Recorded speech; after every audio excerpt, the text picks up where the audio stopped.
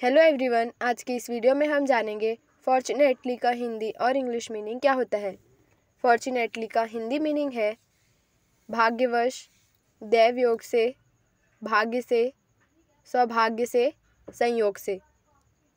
वहीं इसका English meaning है बाय गुड लक एग्ज़ाम्पल से समझते हैं इसे। Example fortunately the traffic was not too bad so I manage to get to the meeting on time यहाँ फॉर्चुनेटली का हिंदी मीनिंग सौभाग्य है।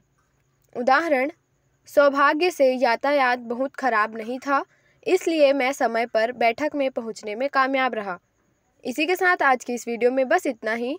Thanks for watching my video